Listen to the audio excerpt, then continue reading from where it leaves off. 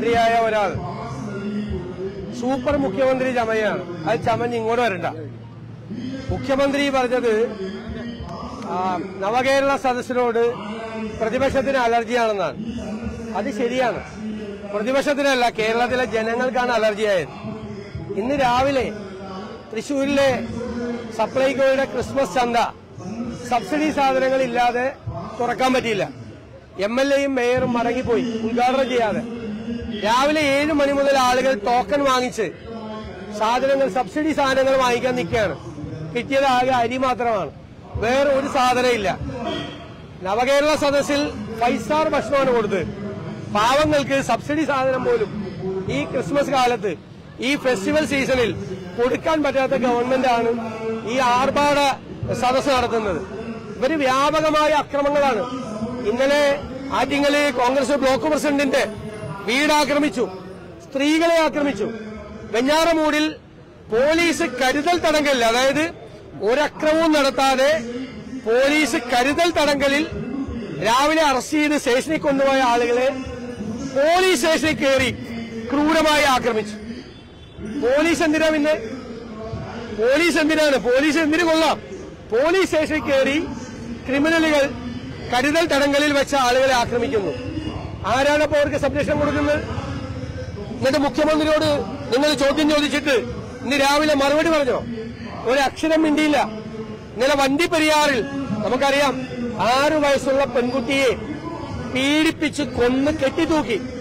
ആ കേസിൽ വെറുതെ വിട്ടു പ്രതിയെ. എന്താ പറഞ്ഞത് വിചാരണ കോടതി? പ്രോസിക്യൂഷൻ ദയനീയമായി പരാജയപ്പെട്ടു. അന്വേഷണ ഉദ്യോഗസ്ഥൻ കൃത്യമായി അന്വേഷിച്ചില്ല. ഫോറൻസിക് തെളിവുകൾ നശിപ്പിച്ചു. ഒരു തെളിവുമില്ല.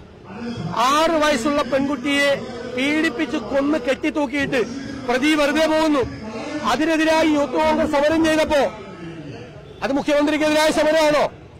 സമരം ചെയ്തപ്പോ സി പി എം ആണ് വാരിക്കുന്നവും ബിയറിന്റെ കുപ്പിയുമായി വന്ന് യൂത്ത് കോൺഗ്രസ് നേതാക്കളെ ആക്രമിച്ചത്. വാരിക്കുന്തം. ഇതാണ് പിണറായി വിജയന്റെ കാലത്ത് നടക്കുന്ന അതിക്രമം. മുഖ്യമന്ത്രിയാണ് ഒന്നാം പ്രതിയാവേണ്ടത്.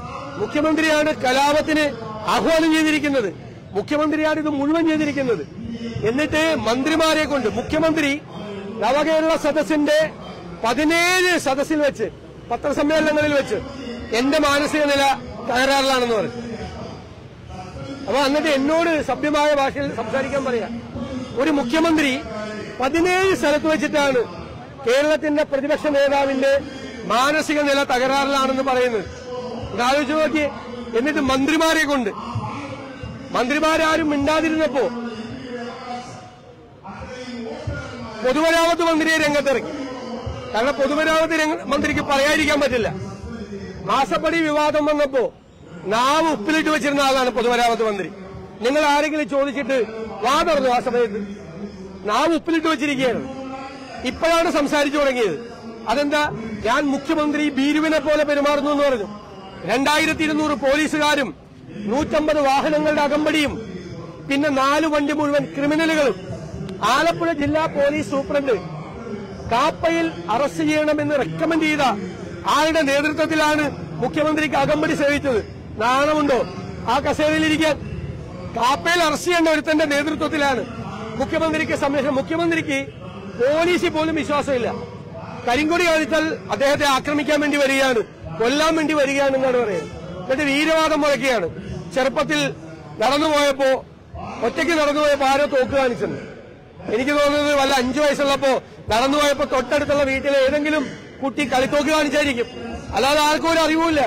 എന്നിട്ട് വീരവാദം മുഴക്കുകയാണ് ഇത്രയും ധൈര്യമുള്ള ഇത്രയും ധീരനായ ഒരു മുഖ്യമന്ത്രിക്ക് എന്തിനാണ് രണ്ടായിരത്തി ഇരുന്നൂറ് പോലീസുകാരുടെ അകമ്പടി? ശബരിമലയെ പോലും പോലീസില്ല. ക്രിമിനലുകളുടെ അകമ്പടി. ഇതിലൂടെ നടക്കുകയാണ്. എന്നിട്ട് മന്ത്രിമാരെ കൊണ്ട് മോശമായിട്ട് പറയിപ്പിക്കുകയാണ്. ഞാൻ പിന്നെ അവരെ കുറിച്ചൊന്നും ഞാൻ പറയുന്നില്ല. ഓരോരുത്തരെ കുറിച്ച് പറയാൻ ഒരുപാട് കാര്യങ്ങളുണ്ട്. എന്തായാലും നാളെ ഈ മന്ത്രിമാരെല്ലാം കരുതൽ തടങ്കലിൽ നിന്ന് മോചിതരാവുക. അവർക്ക് പലർക്കും ആഗ്രഹമുണ്ടായിരുന്നു അവർ പലരും വ്യക്തിപരമായ അഭിപ്രായങ്ങൾ നടത്തിയിട്ടുണ്ട്.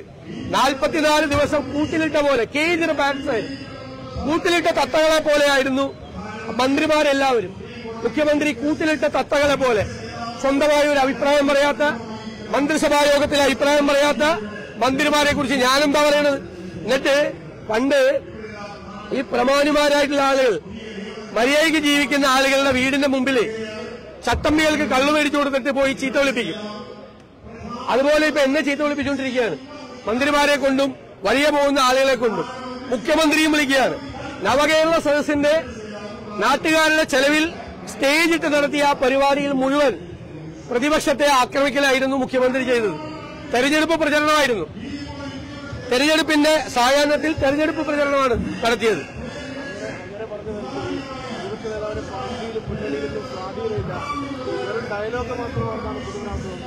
അല്ല പൊതുമരാമത്ത് മന്ത്രി അല്ലല്ലോ അത് അളക്കുന്നത് അയാൾ കേടായി കിടക്കുന്ന റോഡിലെ കുഴി എത്രയുണ്ടെന്ന് എണ്ണിയാൽ മതി.